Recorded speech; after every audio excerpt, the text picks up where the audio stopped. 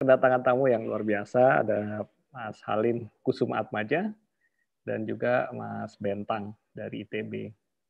Uh, Mas Halim ini adalah profesor di bidang soft matter and biophysics, Departemen Fisika di Universitas Durham, Inggris. Mas Salim mendapatkan gelar Master of Physics dari University of Le uh, Leicester, PhD pada bidang Theoretical Condensed Matter Physics dari Oxford University. Luar biasa ini. Setelah postdoc-nya di Max Planck Institute uh, of Colloids dan uh, Interfaces, uh, Colloids and Interfaces, dan juga di Cambridge University, Mas Salim kemudian bergabung di uh, Durham University sebagai asisten profesor dan bahkan sudah full profesor ya. Selamat nih Mas Salim. Terima kasih.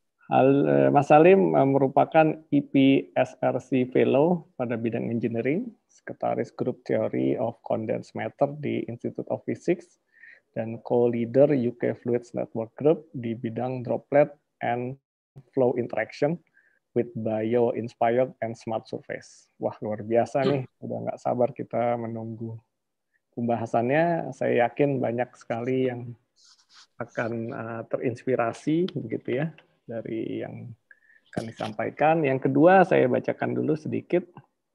Mas Bentang Arif Budiman ini sekarang staf di Fakultas Teknik Mesin dan Dirgantara FTMD. S1-nya di Teknik Mesin ITB, kemudian magister dan doktor di Tokodai, Tokyo Institute of Technology, Mechanical Science and Engineering Department. Fokus penelitian adalah interface damage mechanic, composite materials, mechanic design, dan seterusnya begitu ya. Uh, berbagai riset funding sudah didapatkan seperti USAID, LPDP, RAENG, RAENG, Ristek Dikti, dan juga yang lainnya. Uh, baik, rasanya sudah cukup ya. Nanti Mas Halim akan bicara bio-inspired wetting and interfacial phenomena where physics and engineering meet chemistry and biology. Kemudian Mas Bentang akan berbicara mengenai interface damage mechanics in composite materials. Oke, langsung saja saya berikan ke uh, Mas Halim Sumat yeah. Maja untuk menyampaikan paparannya selama paling lama 45 menit. Silakan Mas Halim. Ya, terima kasih. Saya coba share screen ya.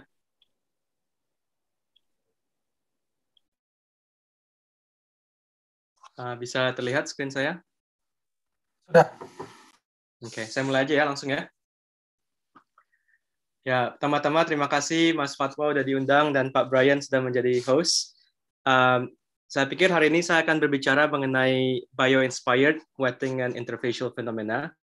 Dan salah satu mungkin poin yang saya mau tekankan adalah ini fenomena yang sangat interdisipliner. Jadi uh, ini titik temu di mana orang-orang dari fisika, engineering, kimia, dan biologi bisa istilahnya gado-gado lah, campur aduk. Uh, mungkin saya mulai dengan cerita sedikit tentang uh, universitas saya, Universitas Durham, karena mungkin uh, tidak banyak yang tahu. Jadi kami itu di northeast uh, of England, jadi di timur laut. Nah, ini salah satu uh, fotonya Durham, uh, kota Durham. Ini kota tua. Jadi kampus kami ini um, kampus ketiga tertua di Inggris. Uh, biasanya lumayan lah kalau kita lihat ranking-rankingan. Tapi mungkin yang lebih penting kalau dari sudut pandang riset, kami itu uh, punya beberapa center for doctoral training, jadi uh, PhD uh, center uh, di bidang yang saya tekuni seperti soft matter, biophysics, renewable energy, dan juga mungkin teman-teman sudah dengar tentang Global Challenges Research Fund yang ada di UK untuk kerjasama dengan teman-teman um, di negara berkembang seperti Indonesia. Mungkin satu poin menarik yang di luar sains, uh, gedung-gedung tua Durham juga sering dipakai untuk uh, bikin uh, film. Jadi yang uh, fansnya Harry Potter, Avengers, dan beberapa film mungkin akan mengenali beberapa gedung di, uh, di Durham. Uh, untuk grup saya sendiri, um, kami menekuni banyak topik di bidang soft matter dan biophysics. Um, dan juga ada uh, beberapa mahasiswa dari Indonesia yang saat ini sedang PhD di, di grup saya. Tapi untuk hari ini saya mau fokus uh, sedikit tentang um, wetting and interfacial phenomena. Jadi ini meliputi topik-topik uh, yang ada lebih ke uh, motivasinya di engineering dan juga di, uh, di, di biologi.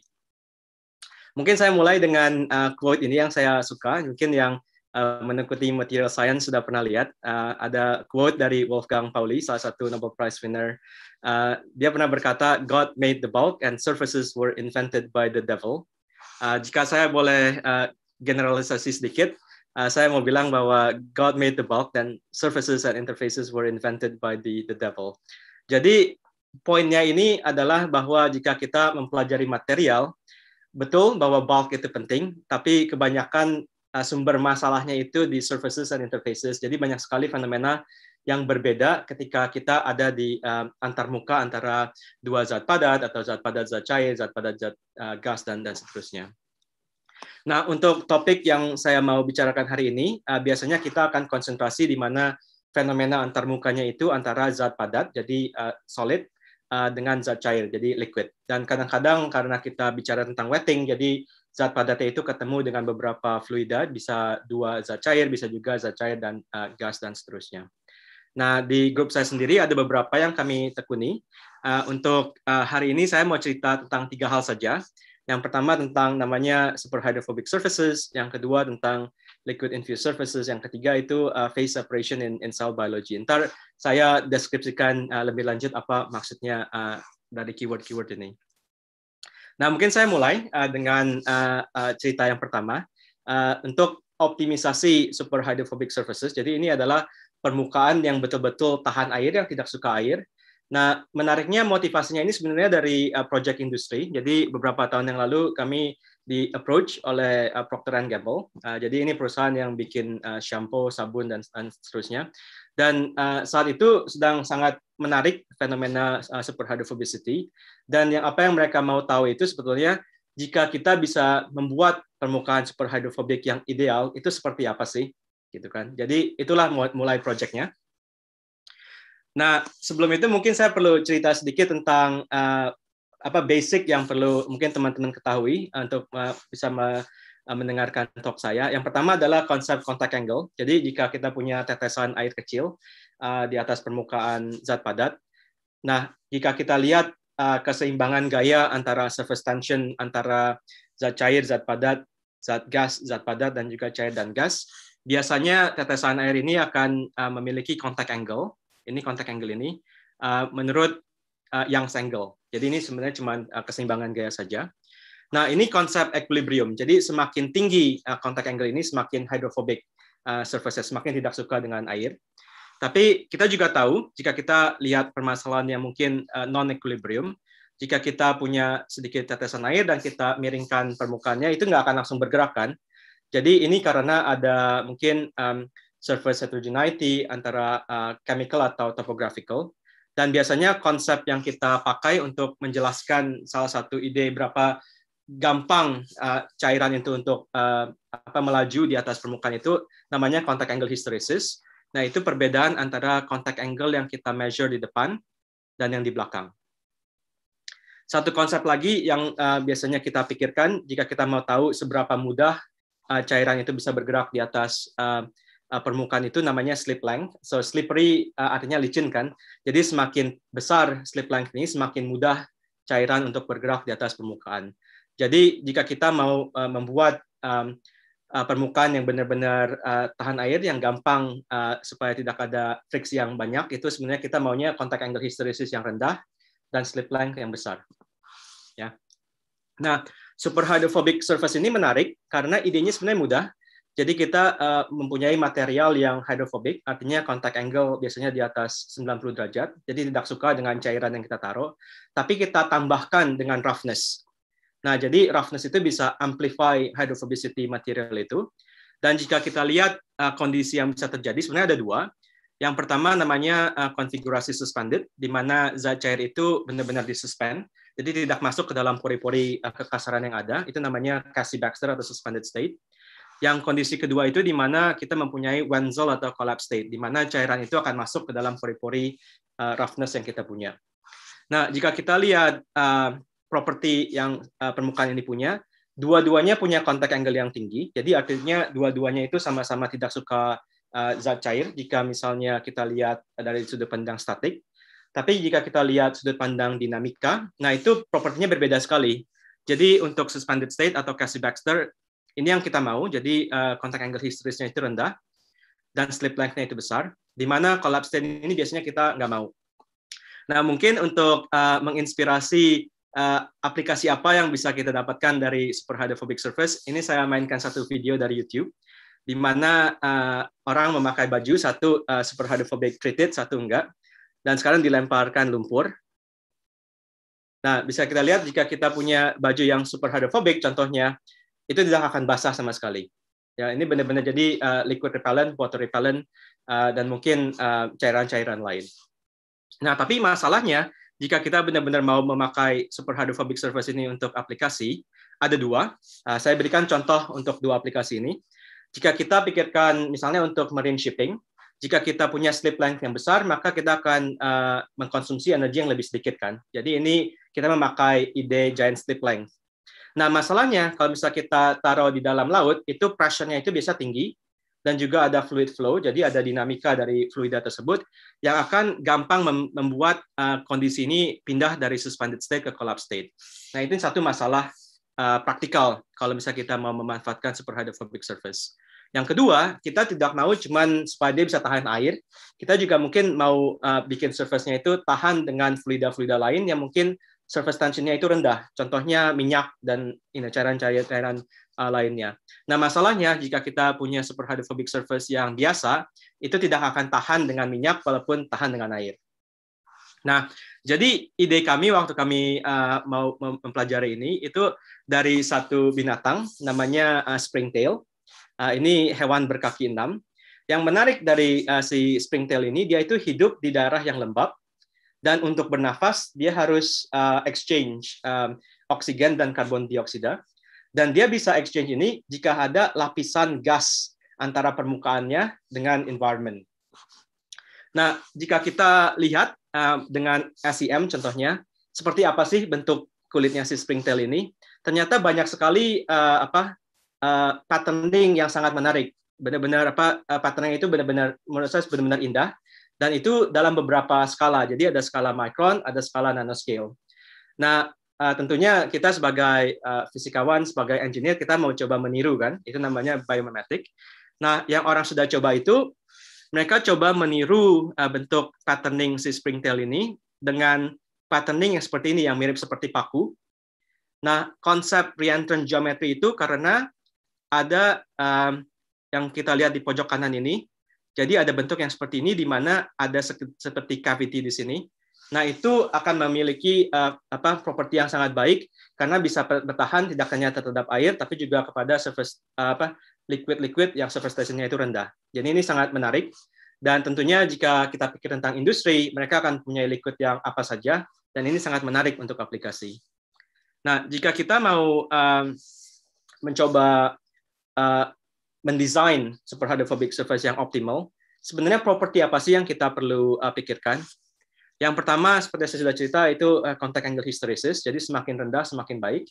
Nah, slip length-nya itu ternyata uh, cukup tinggi asalkan uh, kita tetap ada di suspended state. Nah, namanya properti yang uh, penting itu namanya critical pressure. Jadi uh, pressure seperti apa yang kita bisa taruh di dalam uh, fluida tersebut supaya dia tetap ada di suspended state dan fluidanya itu tidak masuk ke dalam pori-pori kekasaran yang kita punya. Nah, jika kita pikir aplikasi, itu bukan cuma pressure saja, tetapi bisa ada banyak sekali hal yang mengganggu uh, stabilitas uh, zat cair itu di atas permukaan superhydrophobic.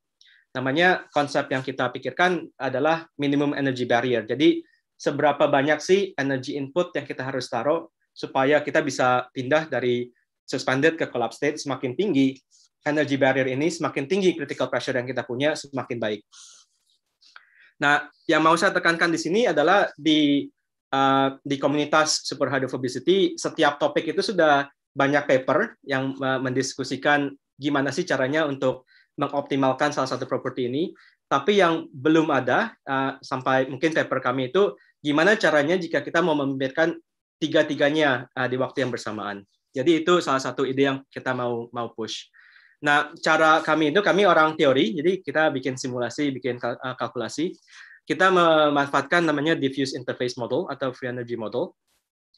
Nah, uh, metodenya ini uh, kita bisa lihat ini kita taruh energi uh, sebagai fungsi phi. Phi itu namanya order parameter di mana harga phi itu menentukan apakah kita di liquid phase atau di gas phase. Jadi uh, untuk persamaan yang saya tuliskan di sini uh, phi satu itu liquid, uh, phi minus satu itu gas dan ini bisa dilihat dari bentuk double wall potential yang di sini. Minimanya itu ada di plus satu dan minus satu. Nah, term yang ini ini berkaitan dengan interface karena ini di mana uh, order parameter kita itu berubah dari harganya dari satu ke minus satu. Jadi ini menentukan surface tension. Jadi kita bisa merubah harga epsilon ini untuk menentukan apa sih surface tension yang kita mau di, di liquid kita. Dan term yang di sini ini untuk menentukan contact angle. Jadi wettabilitas uh, liquid dan dan permukaan. Dan kami uh, perlu uh, metode yang cukup efisien karena kita mau mengoptimalkan uh, geometri dari uh, patterning yang kita mau lihat. Uh, jadi caranya kita biasanya kita uh, diskretisasi uh, dengan cubic mesh dan setiap titik itu punya harga phi sendiri. Dan kita sebenarnya gampang sekali kita minimalkan uh, energinya. Dan uh, algoritma yang kita pakai itu namanya LBFGS algorithm. Jadi uh, ini salah satu algoritma yang efisien jika Eh, kita melakukan minimisasi dengan degree of freedom yang banyak. Jadi biasanya kita itu minimisasi dengan degree of freedom yang sekitar satu juta atau mungkin 10 juta uh, titik. Nah, jadi kita bisa lihat tiga properti yang saya sebutkan. Uh, kita bisa lihat advancing uh, property seperti apa dan juga receding. Jadi uh, mungkin untuk talk ini saya nggak mau uh, terlalu detail uh, tentang mekanisme dan juga apa uh, harganya seperti apa atau value-nya seperti apa yang mau saya tekankan adalah dengan metode yang kita punya, kita bisa melihat mekanisme apa yang terjadi, berapa contact angle hysteresisnya, uh, tergantung dari uh, apa uh, parameter-parameter yang ada di uh, pattern yang kita punya. Jadi kita bisa lihat contact angle hysteresis, kita juga bisa lihat uh, critical pressure. Contohnya ini ada dua mekanisme, di mana uh, mekanisme pertama uh, jadi interface-nya itu melengkung dan akan ketemu dengan uh, permukaan solidnya di bawah, atau dia bisa uh, deepening mechanism, dari sisi yang di sini. Jadi sama, jadi kita bisa lihat mekanismenya seperti apa, berapa value critical pressure dan seterusnya. Dan kita juga bisa lihat uh, tentang masalah energy barrier. Nah, mungkin di sini ada satu konsep menarik, di mana jika kita uh, tertarik dengan energy barrier dari dua minima, sebenarnya banyak sekali kan uh, trajektori yang bisa terjadi. Kita bisa ambil trajektori yang di sini atau yang di mana. Tapi yang biasanya kita lihat itu namanya minimum energy pathway, di mana energy pathway ini um, special karena ini melewati uh, transition state atau saddle point dan ini special karena inilah uh, trajektori di mana energy barrier-nya itu yang paling rendah. Nah, itu bisa kita hitung semua. nah, ini sebenarnya poin yang mau saya tekankan jika kita mau uh, membuat atau mendesain sesuatu yang efisien. Contohnya, jika kita mau uh, membuat critical pressure-nya itu semakin tinggi, Salah satu caranya itu adalah kita bisa membuat uh, patterning pose kita itu semakin lama semakin besar. Nah, ini bagus untuk critical pressure dan ini banyak sekali yang sudah bilang di literatur. Tapi masalahnya jika kita pikirkan dari sudut pandang angle hysteresis, ini akan sangat buruk. Karena ini akan membuat yang namanya contact angle hysteresis semakin uh, semakin tinggi. Jadi uh, dia akan tertahan di suspended state, tapi suspended state kita itu punya contact angle hysteresis yang besar. Kita juga bisa bikin semua skalanya semakin kecil, sekali lagi ini bagus untuk critical pressure, tapi ini akan buruk untuk energy barrier. Jadi kalau misalnya kita mau bikin aplikasi seperti untuk uh, coating uh, uh, apa kapal, ini akan sangat buruk. Nah, jadi yang sudah kami kerjakan itu kami apa efisiasikan uh, semuanya sekaligus. Jadi contohnya uh, kami ambil uh, geometric mean, jadi kita kalikan dan kita ambil uh, cube root. Dan ada dua, dua, dua metode yang kami lakukan. Yang pertama adalah Uh, metode brute force di mana kami benar-benar simulasikan uh, semuanya uh, jadi semua kemungkinan uh, apa uh, parameter dan kita lihat jika kita lihat skornya ini di mana yang paling rendah tapi ada sebenarnya yang lebih uh, optimal di mana kita memakai namanya uh, genetic algorithm jadi kita bisa mendapatkan uh, scoring function yang lebih uh, lebih lebih cepat, lebih efisien, bisa sekitar 10.000 kali lebih cepat dengan genetic algorithm. Nah, tapi yang menarik adalah hasilnya. Jadi jika kita lakukan optimisasi uh, sekaligus ini, kita sebut multifaceted optimization, bentuk geometri yang kita dapatkan itu uh, sekitar 100 nanometer lah, beberapa ratus nanometer. Nah, ini sebenarnya cukup cukup kecil Dan ini sebenarnya sangat challenging untuk kita produksi jika kita mau produksi secara in a sense biomimetic. Mungkin um, nanoscribe salah satu metode yang bisa dipakai, tapi setelah itu kayaknya agak sulit sekarang. Tapi yang benar-benar menarik yang kita lihat itu adalah jika kita bandingkan dengan uh, geometri yang si Springtail itu punya, ternyata itu sangat mirip sekali. Nah, jadi uh, ini sangat menurut saya sangat sangat cool, sangat menarik karena kita uh, pakai metode komputasi yang advance dan juga kita sudah uh, pakai juta-jutaan uh, uh, CPU hours dan ternyata yang kita optimisasikan itu sama hampir sama dengan apa yang nature sudah optimisasikan uh, beratus-ratus tahun. Jadi um, di satu sisi ini konfirmasi bahwa apa yang kita dapatkan itu uh, uh, reasonable. Tapi di sisi lain ini salah satu contoh kenapa kita harus uh, belajar dengan alam uh, sebanyak mungkin karena alam sudah uh, optimisasi uh, dengan baik. Nah, itu cerita pertama yang saya mau berikan. Cerita kedua ini tentang namanya liquid infused surfaces. Ini juga salah satu permukaan yang istilahnya tahan zat cair. Nah, ini sebenarnya lebih menarik lagi kalau kita dari orang Indonesia. Ini inspirasinya dari uh, tanaman kantong semar. Nah, kantong semar ini salah satu native uh, country-nya itu sebenarnya di Indonesia. Di Indonesia punya 60 spesies uh, kantong semar.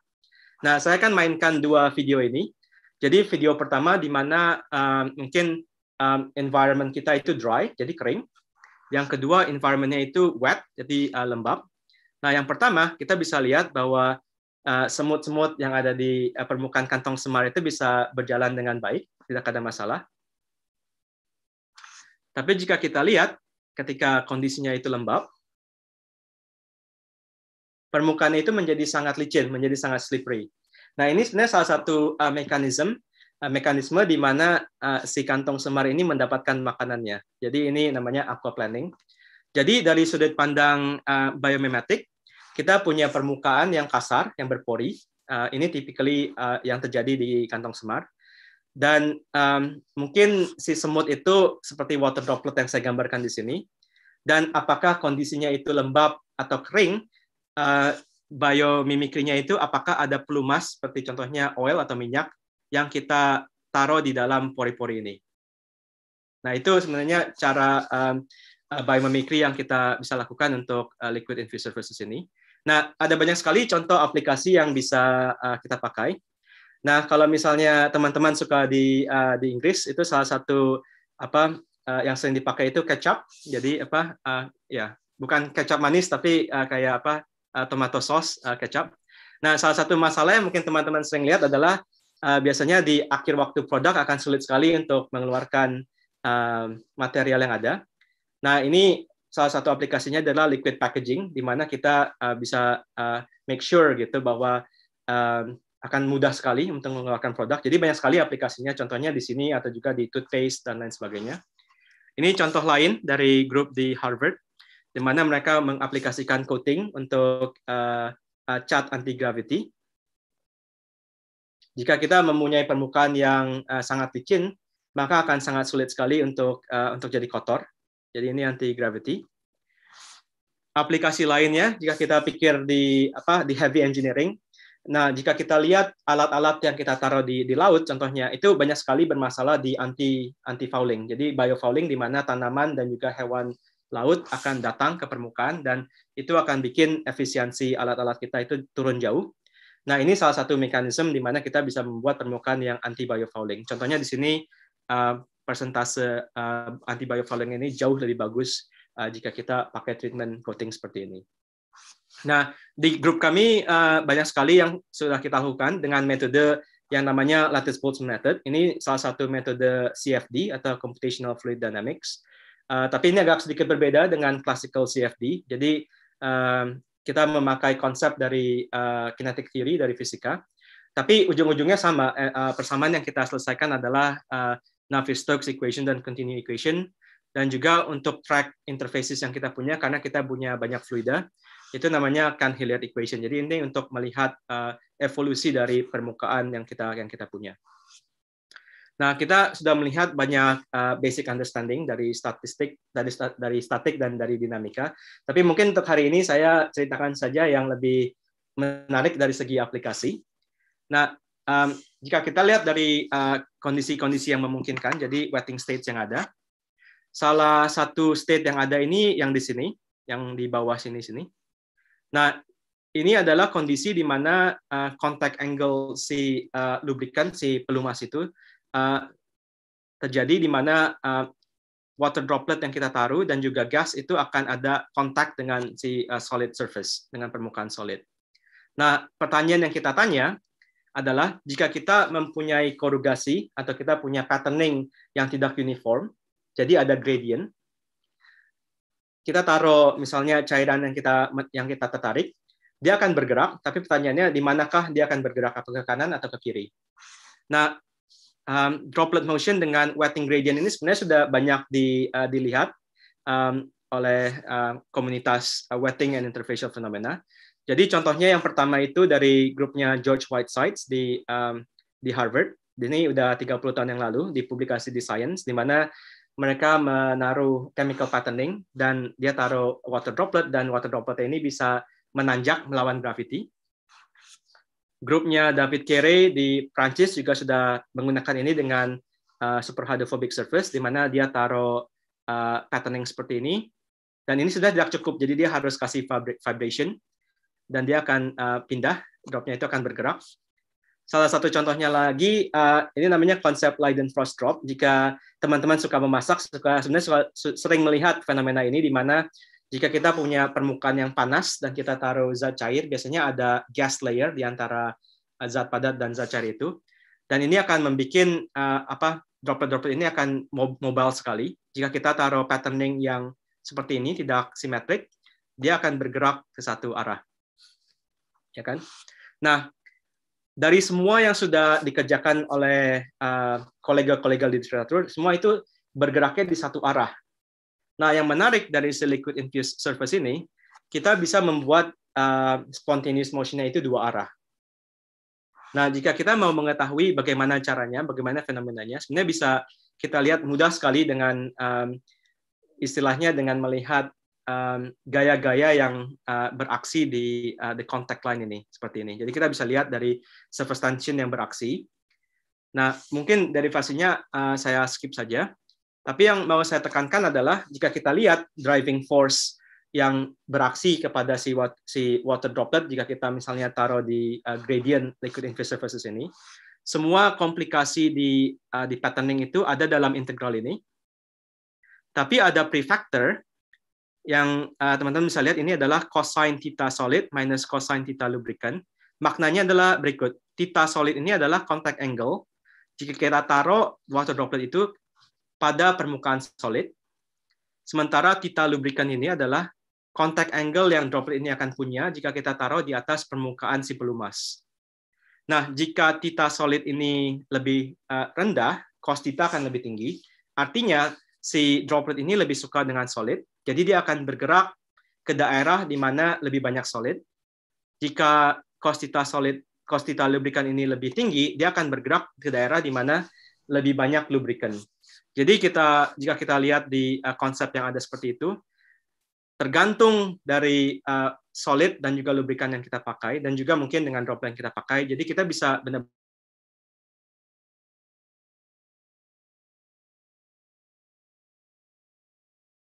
tes konsepnya uh, dengan simulasi dan juga dengan um, eksperimen. Jadi kita bisa bikin phase diagram dan ini salah satu contohnya jika kita taruh water droplet dengan uh, lubrikan yang diodomethane. Jika kita taruh maka droplet ini akan bergerak ke ke kanan contohnya di sini. Ini spontaneous. Jika kita ganti saja uh, lubrikannya atau pelumasnya dengan FC70 contohnya, dia akan bergerak ke arah yang uh, sebaliknya. Kan?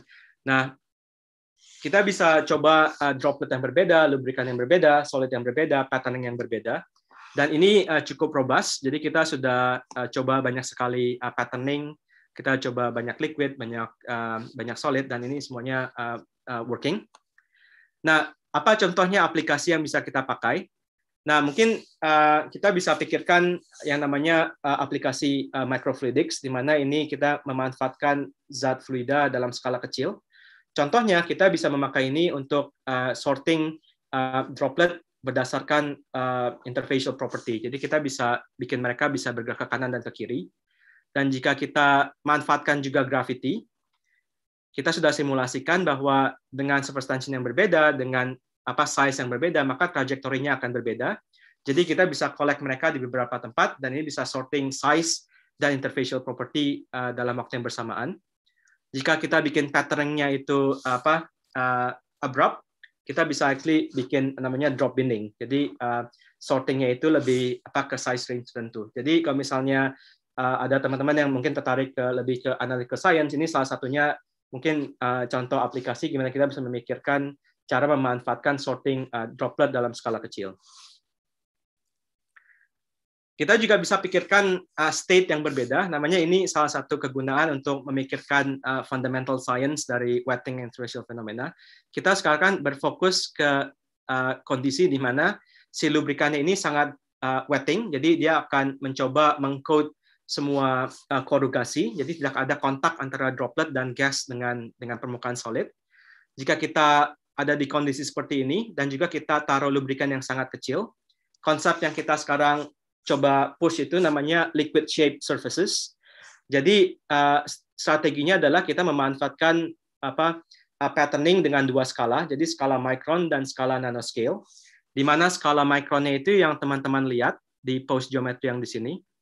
Dan skala nanoscale-nya itu kita biasanya pakai nanoparticle, di mana fungsi nanoparticle itu untuk trap lubrikan. Jadi lubrikannya itu sangat tipis, dia akan mengikuti bentuk si micron scale roughness. Nah, konsep ini sangat menarik karena uh, jika kita lihat konsep seperti ini, dia akan bisa memberikan gradient contact angle yang jauh lebih besar dibandingkan jika uh, nano lubrikan ini tidak ada. Dan jika misalnya kita taruh uh, satu droplet um, di gradient liquid infused surfaces uh, tanpa lubrikan, tanpa pelumas dengan dengan uh, pelumas, ini uh, efektifnya jauh uh, lebih baik jika kita pakai uh, lubrikan.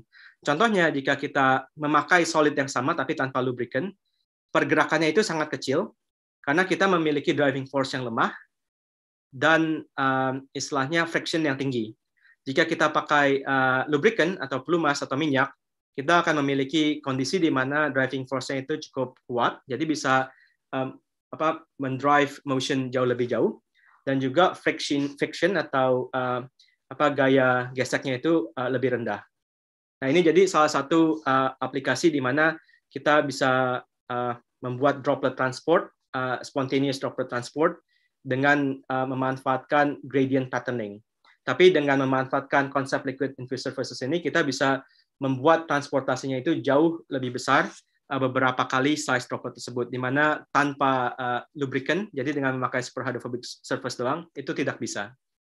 Nah, mungkin uh, cerita terakhir yang saya mau uh, berikan. Uh, ini uh, ah sorry masih ada satu uh, slide lagi. Ini uh, contoh di mana kita bisa uh, bergerak melawan uh, gravitasi. Dan juga ini ada satu konsep menarik di mana jika kita lihat kita bandingkan tanpa lubrikan dan dengan lubrikan jika kita bounce uh, liquid droplet tanpa lubrikan ini uh, super hydrophobic surface dia akan bounce beberapa kali Sementara jika kita taruh lubrikan, dia akan langsung tertangkap. Jadi kita mau aplikasi droplet capture, ini akan jauh lebih baik. Kita juga bisa melakukan konsep ini upside down, yang akan sangat susah dengan uh, contohnya jika kita cuma punya super hydrophobic surface tanpa lubrikan. Dan yang menarik itu jika kita lihat dari konsep dasarnya, liquid infused surfaces itu menarik karena ini adalah surface yang slippery, jadi sangat licin jika kita lihat pergerakan uh, searah dengan uh, si permukaan itu. Tapi jika kita lihat sifatnya perpendicular, jadi uh, perpendicular dari surface itu dia akan uh, sangat sticky actually. Jadi uh, dia itu mempunyai gaya adhesion yang sangat tinggi, tapi dia slippery uh, searah dengan dengan permukaan. Jadi ini uh, uh, apa surface dengan properti yang yang menurut saya sangat menarik.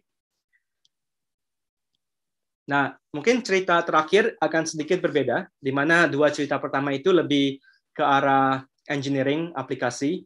Nah, cerita ketiga itu uh, mungkin lebih ke basic science, dan terutama ini antara uh, titik temu antara interfacial phenomena dan sel biologi.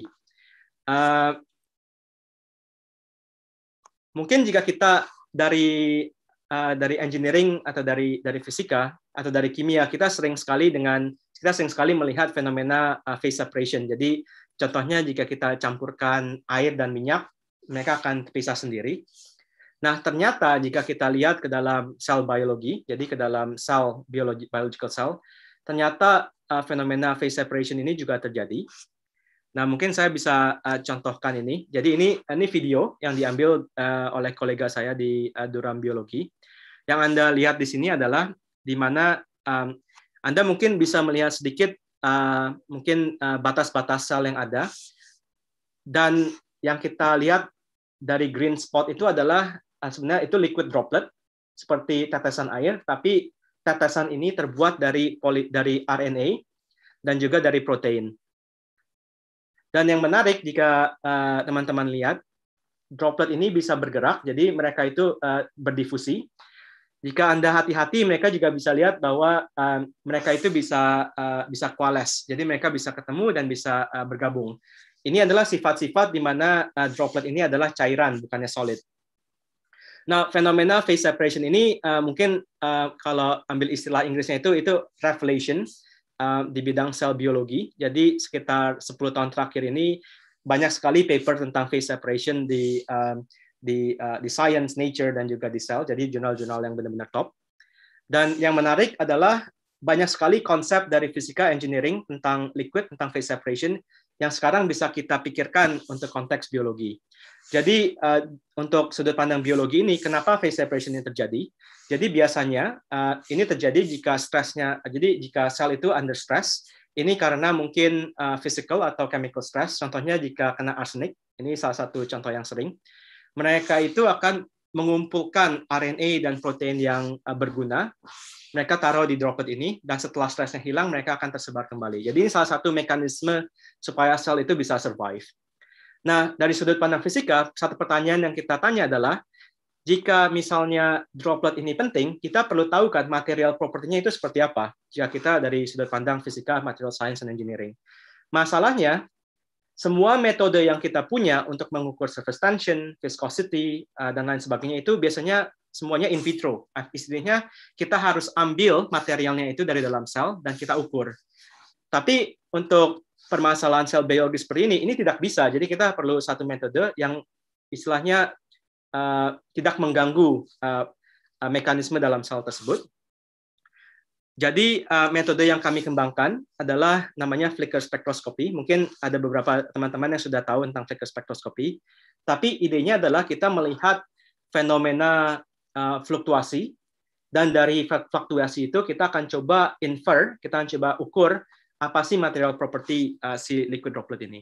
Nah ini uh, video di mana kita bisa melihat salah satu uh, droplet yang ada dalam uh, sel biologi di mana kita bisa lihat permukaannya itu berfluktuasi. Jadi yang kita coba itu adalah kita bisa pikirkan bahwa si droplet ini akan berfluktuasi dan energi yang harus di, uh, dipikirkan adalah uh, tentang surface tension. Jadi kembali tentang uh, apa yang saya sebutkan uh, sebelumnya, jadi tentang surface tension dan juga ada uh, konsep namanya elasticity. Jadi uh, mungkin droplet-droplet ini mempunyai elastisitas tertentu yang juga harus kita uh, pikirkan. Dan yang kita lihat adalah kita bisa lihat fluktuasi si droplet ini, kita bisa lihat spektrumnya itu seperti apa, dan kita bisa fitting spektrumnya itu dengan spektrum yang kita prediksi dari teori. Dan setelah kita fit, kita bisa tahu surface tensionnya itu seperti apa, bending rigidity-nya itu seperti apa, dan in kemudian hari yang kita lagi pikirkan bagaimana kita bisa ekstrak viskositas uh, si liquid droplet dalam sel ini. Nah, yang benar-benar menarik, lebih menarik lagi menurut saya, kita sekarang sudah mulai bisa melihat apa efek biologi dan juga efek material property dari uh, liquid droplet yang ada dalam uh, sel. Contohnya jika kita taruh chemical yang berbeda, property dropletnya itu juga berbeda ternyata. Itu kita sudah bisa lihat. Jadi jika ada orang-orang yang dari biologi di sini, ada sebenarnya beberapa uh, pertanyaan yang menarik. Jadi salah satu uh, teori yang ada di biologi adalah jika selnya itu dalam stres, dia akan bikin droplet-droplet ini. Dan jika stresnya itu lama, dia akan berubah dari liquid ke solid. Dan yang kita mau pikirkan itu idenya adalah bagaimana kita bisa menggunakan flicker spektroskopi supaya kita bisa melihat perubahan dari liquid ke solid. Nah ini menarik karena ketika droplet ini menjadi solid, biasanya dari kedokteran ini dipikirkan bahwa inilah salah satu nukleasi di mana uh, penyakit-penyakit seperti Alzheimer, ALS dan lain sebagainya itu bisa muncul. Jadi ini karena uh, proteinnya itu fibrilisasi. Jadi ini benar-benar istilahnya campur aduk dari fisika, engineering, uh, metode teori, metode eksperimen untuk memikirkan salah satu masalah yang berkaitan dengan dengan penyakit istilahnya. Nah dari sudut pandang fisika ini juga sangat menarik karena jika kita lihat uh, biasanya material yang kita pikirkan itu semua fluktuasi yang ada adalah thermal, jadi dari temperatur. Nah, jika kita masuk ke dalam uh, uh, cell biology, nah ini banyak sekali proses-proses yang aktif yang didorong dengan memakai ATP. Jadi jika ada teman-teman yang di condensed matter physics, ada yang namanya active matter. Jadi ini juga bersentuhan dengan namanya active matter. Jadi active fluctuation karena ada influence dari ATP yang dikonsumsi dari ATP menjadi ADP dan ini akan mungkin memberikan fluktuasi yang spektrumnya berbeda dengan jika cuma thermal. Nah, ini cuma sedikit gambaran uh, dari banyak hal yang sangat menarik sebenarnya dari interfacial fenomena di biologi. Contohnya uh, dropletnya itu ternyata juga bisa uh, phase separator sendiri. Jadi ada multi phase droplet dan droplet-dropletnya itu juga bisa berinteraksi dengan permukaan yang ada dalam sel, terutama lipid membrane. Dan yang menarik adalah permukaannya ini semua sekarang uh, elastik. Jadi kita bisa memakai konsep elastocapillarity, interplay antara elasticity dan capillarity. Jadi yang kami kembangkan itu adalah uh, mesoscale, uh, multiscale method, uh, teori dan komputasi untuk coba berkolaborasi dengan teman-teman yang dari uh, biologi, dari kimia, dan juga dari engineering untuk masalah-masalah ini. Nah, mungkin uh, itu yang saya mau uh, jelaskan untuk hari ini. Jadi saya mungkin conclude. Uh, saya berharap dari talk yang sudah saya berikan, teman-teman uh, bisa melihat bahwa banyak sekali pertanyaan-pertanyaan menarik di bidang surface and interfacial science. Dan yang menariknya itu dari basic science sampai engineering. Sorry, dari basic science sampai uh, industri, dan dari biologi sampai engineering karena saya orang simulasi, saya mau mem, apa, memberikan poin bahwa teori dan simulasi itu penting untuk komplementari dengan eksperimen. Hari ini saya sudah cerita tiga, jadi tentang superhydrophobic surfaces, tentang liquid infused surfaces, dan juga tentang interfacial phenomena di um, di biologi. Tapi banyak sekali sebenarnya uh, topik-topik uh, seperti ini yang kami kerjakan di, di grup saya. Contohnya, uh, kami sedang juga memikirkan uh, dengan uh, teman-teman di kimia dan juga um, satu kolega di uh, Pertamina bagaimana caranya water harvesting uh, inspired dari tanaman dari tumbuhan. Dan ini contoh lain di mana kita bisa memikirkan liquid diode. Jadi seperti diode di uh, electronics tapi kita berpikir tentang liquid tapi terinspirasi dari flea. Flea itu bug dari kutu ya kan? Nah saya mungkin tutup dengan satu pertanyaan buat teman-teman pertanyaannya adalah jika kita bilang Indonesia itu mempunyai biodiversity, biodiversitas yang sangat tinggi, tapi kenapa kita uh, sebagai orang dari fisika, material science, engineering uh, belum uh, mempelajari, mengeksploitasikan uh, biodiversitas kita untuk aplikasi yang lebih material dan lebih engineering. Jadi cuma cuma mempelajari biodiversitas dari sudut pandang biologinya. Saya tutup di situ. Uh, terima kasih. Baik, Mas Salim, terima kasih banyak. Ini sangat menarik uh, paparannya. Uh, rasanya ada beberapa pertanyaan di chat box. Uh, silakan nanti dijawabnya setelah uh, Mas Satang jawab ya, Mas Salim. Berikutnya yang kedua, Mas Bentang, kami persilakan untuk menyampaikan paparannya. Terima kasih Pak Brian. Suara saya jelas ya, terdengar ya? Jelas, jelas terdengar. Sharingnya silakan. Oke.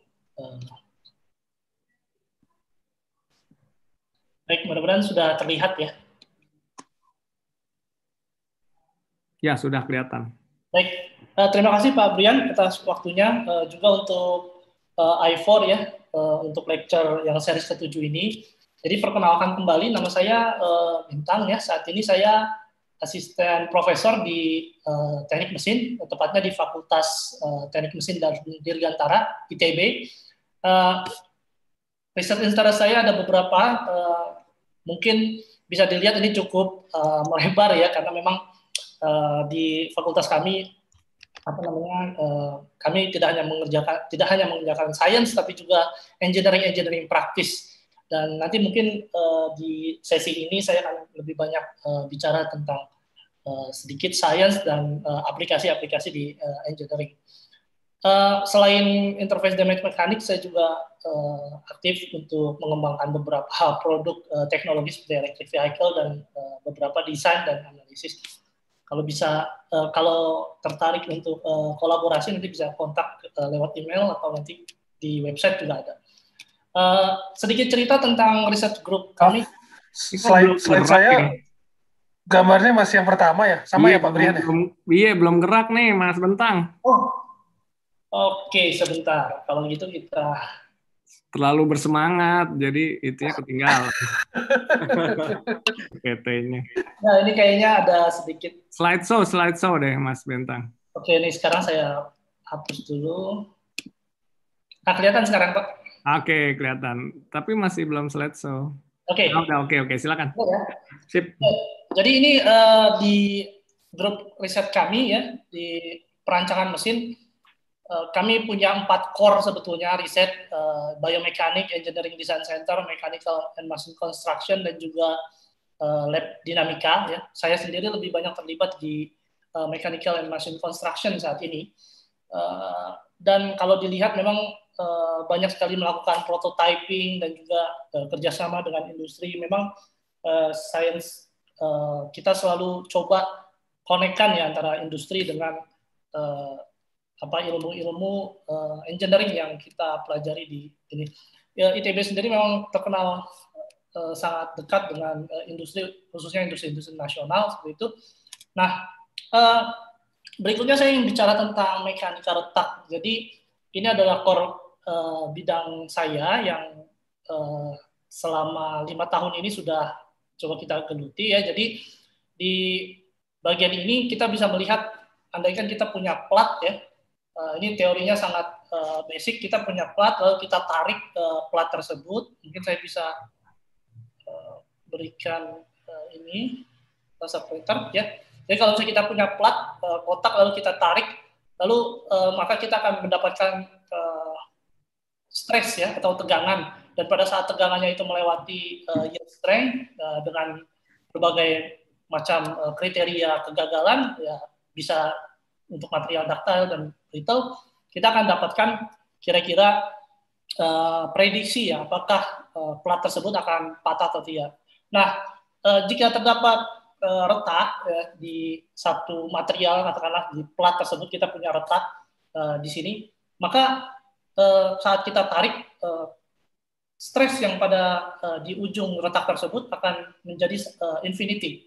Nah, karena infinity seperti ini, maka uh, ductile failure criterion dan brittle failure criterion itu tidak akan uh, bekerja dengan baik. Uh, dan ini zaman perang dunia kedua, uh, mereka banyak hancur, misalnya kapal-kapal uh, tempur ya terus udah gitu uh, pesawat juga banyak yang tiba-tiba meledak sendiri uh, retak sendiri. Itu karena memang uh, fracture mekanik uh, ilmu fracture mekanik ini tidak uh, belum mature saat itu ya. Sampai akhirnya ada uh, salah satu apa namanya uh, si uh, apa namanya researcher ya bernama Griffith dia mencoba untuk melihat uh, retak ini dan membuat satu kriteria kegagalan berdasarkan energi balance dan ada juga Irwin yang berdasarkan stress uh, intensity factor. Bisa dilihat di sini uh, dia mengatakan bahwa uh, kita tidak bisa mengandalkan yield strength dan juga ultimate tensile strength ya kita harus melihat uh, energi uh, kesetimbangan energi antar uh, energi untuk membuat uh, retak ya yaitu surface energy dan juga energi untuk membuat uh, stres yang atau energi yang dilepaskan karena uh, strain. Nah, dari situ akhirnya kita punya teori baru yang disebut dengan mekanika retak. Uh, ada beberapa orang juga yang tidak tertarik dengan energi balance karena itu tidak applicable, karena energi tidak bisa dilihat ya. Uh, lebih suka dengan menggunakan uh, kriteria uh, stres karena itu sudah lama digunakan sehingga uh, muncullah teori ini. Singkat cerita, akhirnya fracture mekanik ini uh, menjadi mature. Ya menjadi lancar dan sekarang kita sudah biasa sekali kalau di pesawat terbang atau di uh, kapal laut untuk uh, non destructive test misalnya kita bisa bisa lihat uh, itu uh, teorinya. Nah, uh, menjadi problem kembali ya tadi saya uh, senang sekali ada istilah kalau misalnya Pak Halim menyebutkan apa interface itu uh, diciptakan oleh uh, uh, Evil. Jadi memang benar karena memang saat uh, kita mulai maju uh, lebih advance uh, untuk menciptakan satu material uh, komposit, maka tidak bisa dipungkiri bahwa uh, interface itu akan uh, muncul ya. Jadi kalau yang mungkin uh, familiar dengan komposit, kita tahu bahwa komposit adalah dua material yang berbeda dan biasanya material tersebut punya sifat material yang uh, uh, sangat berbeda karena kita ingin gabungkan material itu dan kita ingin menciptakan satu material lain yang unggul. Misalnya ya pada carbon fiber dan juga matrix bisa dilihat di sini ini kurva tegangan dan uh, regangan. Kalau misalnya kita punya uh, fiber dan juga kita punya matrix ya, kita punya fiber yang sangat stiff uh, tapi dia low toughness. Tapi kalau misalnya matrix kita punya uh, apa material yang rendah ya ultimate uh, strain-nya tapi uh, toughness-nya cukup tinggi. Kalau kita gabungkan maka kita mendapatkan satu material komposit. Nah, ide seperti ini di material uh, engineering ini sangat menarik karena apa? Kalau dulu uh, saat kita mendesain kita selalu melihat uh, material selection. Jadi setelah kita uh, dalam proses desain itu kita biasanya memilih material. Nah, uh, di akhir-akhir uh, tahun ini kita lebih banyak melakukan desain. Jadi material itu ditentukan belakangan karena pada akhirnya kita bisa uh, melakukan modifikasi terhadap sifat-sifat uh, uh, tidak hanya mekanik tapi juga chemical, physical dan electrical. Nah, uh, komposit sendiri sebetulnya banyak macamnya, tapi yang saat ini kami sedang kerjakan itu yang fiber matrix, terus ada juga particulate composite dan juga thin uh, layer composite. Ini contoh aplikasinya ya kalau fiber matrix kita sudah tahu di pesawat terbang, di uh, kereta juga keunggulannya adalah kalau misalnya kita pakai fiber matrix itu kita bisa menciptakan uh, kompleks uh, shape ya. Jadi kompleks shape yang biasanya kalau di pemesinan biasa kalau kita menggunakan metal itu akan menjadi sangat mahal tapi dengan fiber matrix composite itu uh, produksinya bisa uh, lebih cepat. Ada juga partikulat misalnya untuk brake pedal ini bisa dilihat atau cutting tools ini juga sudah digunakan dan yang mungkin yang paling menarik adalah thin layer yang saat ini juga sedang kita coba bangun ya karena temanya tadi kendaraan listrik kami juga sedang membuat uh, riset tentu uh, di, di, di bagian mekanikalnya yaitu uh, menciptakan uh, solid state battery nanti kita akan bisa jelaskan uh, lebih detail tiga hal ini dan uh, kalau kita lihat ya uh, uh, fracture in uh, interfacial region jadi Eh, ketiga komposit tersebut memang terlihat bahwa retak itu selalu melewati uh, interface. Jadi kalau misalnya kita lihat fiber matrix di sini, kalau kita berikan beban longitudinal atau transverse, uh, bahkan uh, kalau misalnya kita punya beberapa layer, beberapa lapis, maka terjadi delaminasi. Dan kita bisa lihat ini semuanya uh, retak akan bergerak ke arah interface. Ya. Untuk partikulat komposit juga sama, ya tidak jauh berbeda.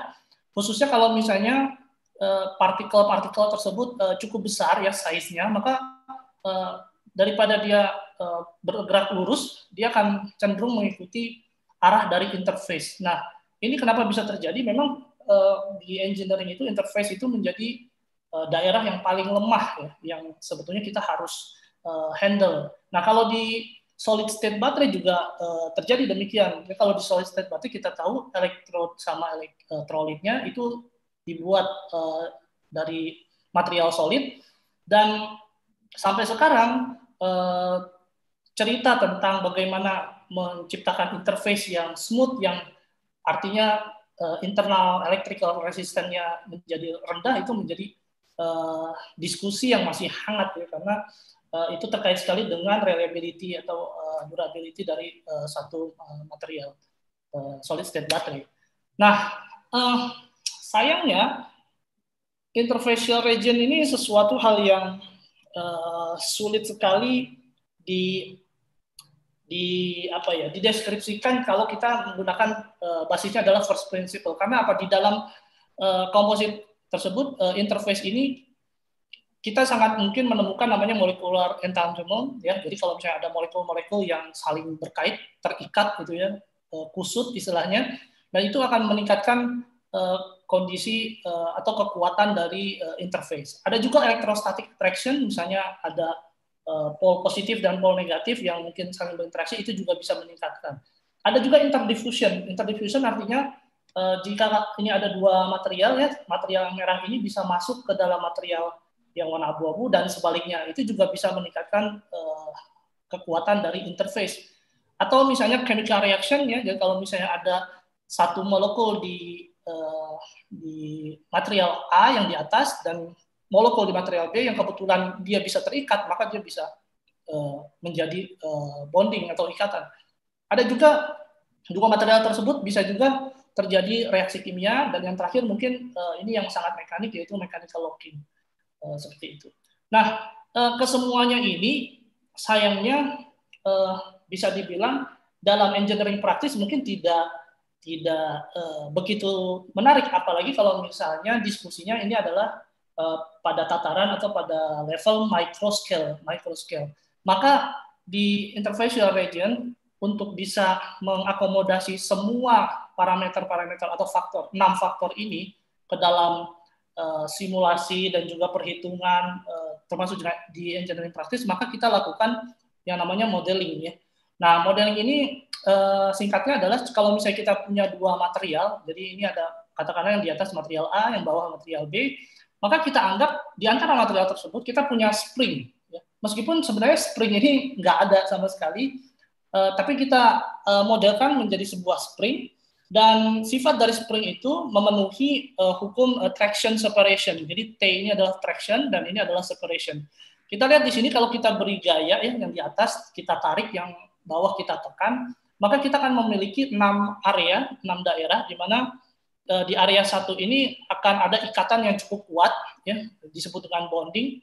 Lalu setelah itu di area kedua saat uh, bonding itu mencapai maksimum, maka dia akan mulai terputus. Nah, Berbeda di uh, material kalau kita uji tarik kita kenal yang namanya strain hardening, tapi di komposit di modeling interfacial region ini kita mengenal namanya stiffness softening. Jadi artinya di sini K atau stiffness dari interface itu akan turun perlahan gitu ya uh, karena adanya damage dan akhirnya sampai pada satu titik uh, totally uh, terlepas ya pada saat itu kondisinya di titik 6.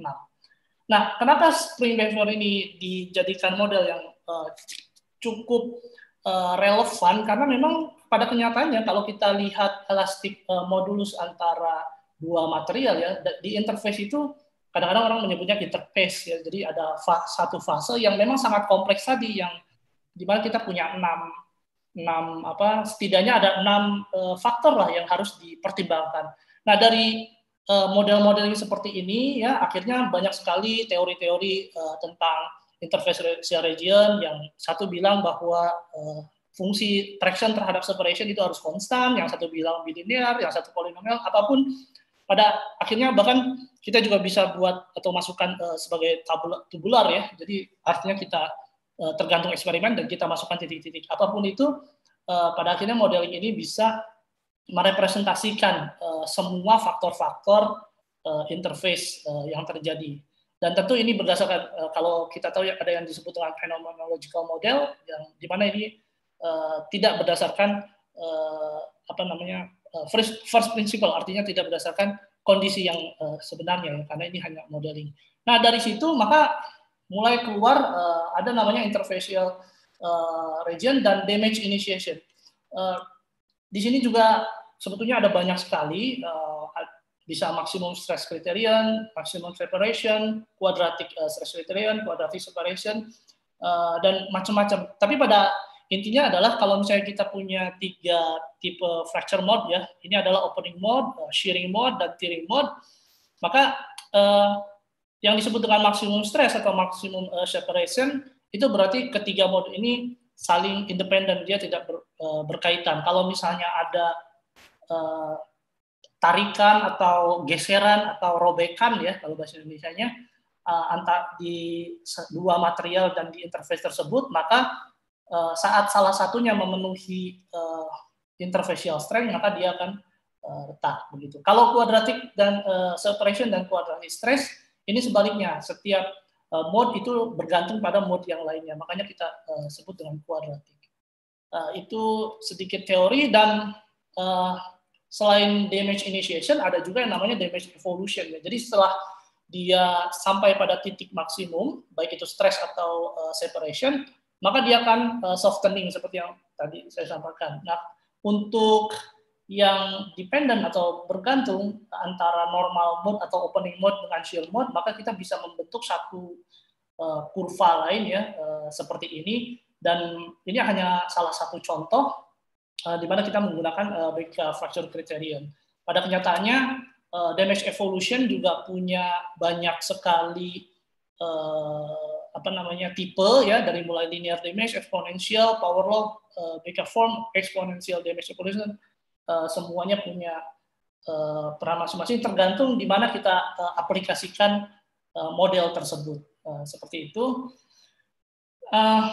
Nah, saya punya Eh, sekarang bicara tentang riset, jadi eh, kebetulan di antara tiga riset tersebut kita sudah lakukan ya eh, beberapa hal. Ada yang cukup lama adalah untuk riset fiber reinforced plastic material. Jadi kalau kita lihat di sini kita punya fiber, lalu kita punya interface dan kita juga punya matrix ya saat kita tarik secara uh, paralel atau longitudinal, maka akan banyak sekali kemungkinan-kemungkinan yang terjadi ya. Bisa crack penetration, ada juga fiber slip kalau interface-nya sangat lemah, ada juga crack deflection. Nah, kebanyakan yang terjadi biasanya memang crack deflection. Kalau uh, artinya saat kita tarik uh, komposit, maka nanti uh, retak akan terdefleksi ke interface.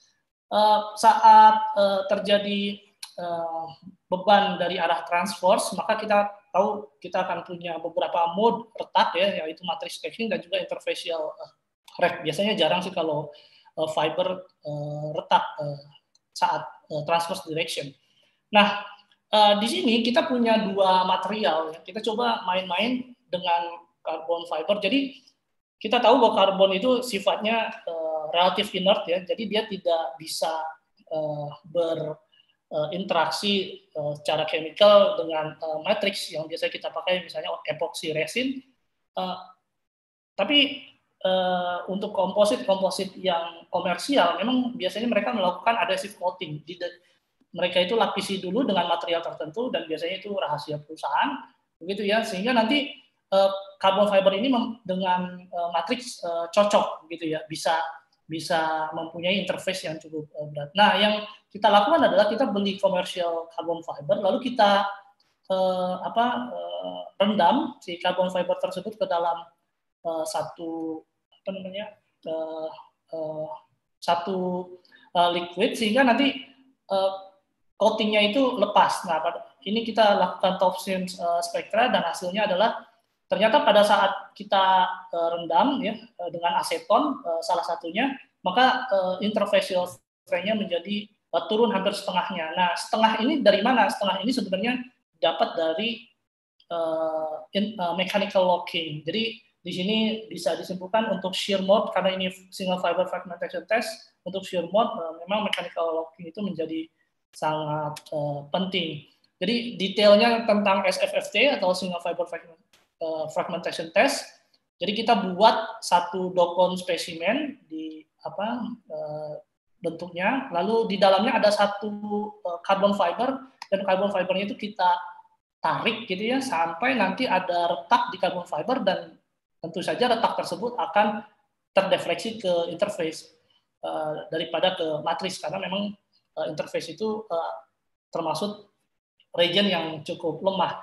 Nah, dengan menggunakan poli uh, uh, poli apa namanya uh, polarization uh, uh, teknik ya di sini photoelastic teknik ya di sini ada polar, uh, polarizer dua polarizer dan juga uh, analyzer maka kita bisa melihat uh, di mana retak pada uh, carbon fiber tersebut dan ini perbedaannya kalau kita tambahkan retarder dan juga uh, kalau tanpa retarder.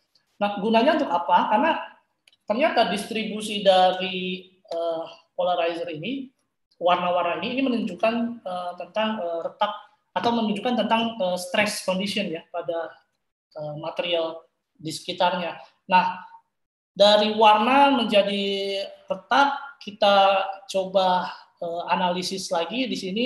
Jadi kita lakukan uh, uji bending ya, uji bending sambil juga uji tarik di situ dan kita akan melihat warna-warna dari mulai gelap, lalu warna putih, lalu berwarna uh, biru, hijau dan lain sebagainya. Lalu kita ekstrak warna-warna tersebut dan setelah kita ekstrak warna tersebut kita akan dapatkan uh, fringe order. Nah, nanti tergantung uh, fringe ordernya karena dia akan berulang Eh, tergantung apakah kita akan menggunakan warna biru, merah atau uh, hijau, itu nanti kita bisa hubungkan ke uh, stres uh, uh, yang terjadi di sekitar uh, retak.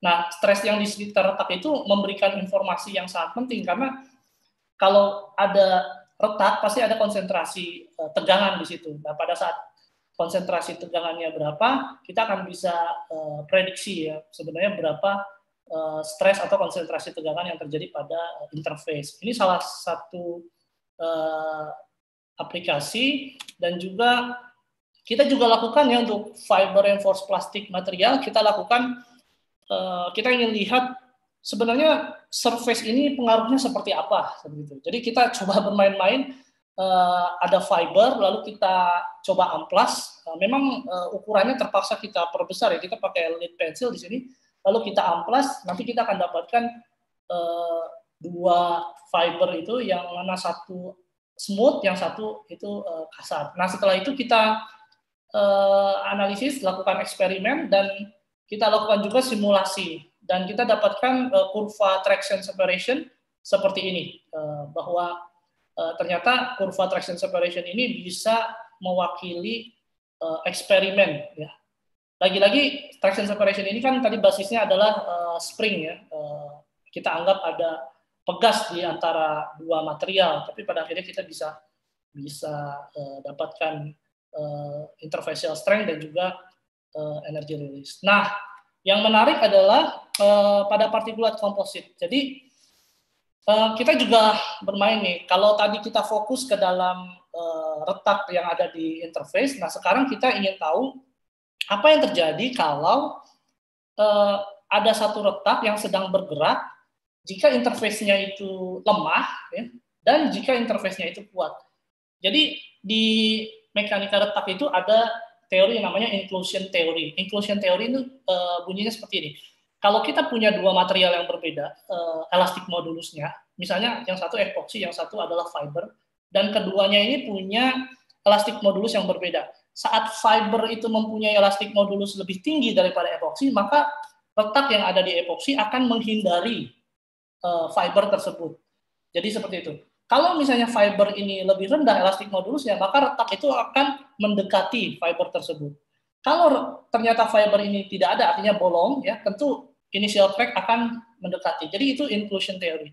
Tapi sayangnya di composite material itu tidak uh, sebagian besar tidak terjadi. Mengapa? Karena di sini ada pengaruh interface tadi itu. Ya, saat interface-nya bagus, maka retak akan menjauhi uh, si inclusion itu.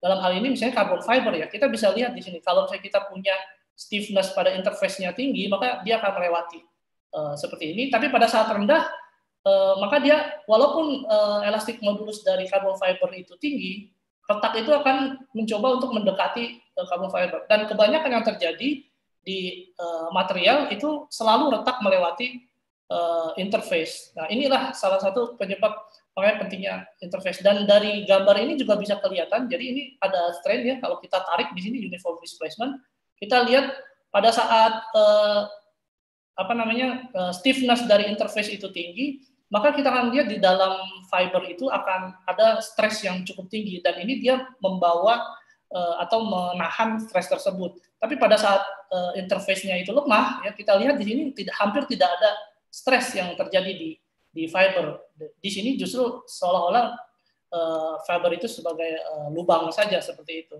Dan kita juga lakukan uh, untuk beberapa kasus, misalnya uh, jika normal stresnya tinggi dan shear-nya uh, rendah dan sebaliknya jika shear stresnya tinggi dan uh, normal shear-nya tinggi dan kita uh, dapatkan satu namanya disebut transition region ya.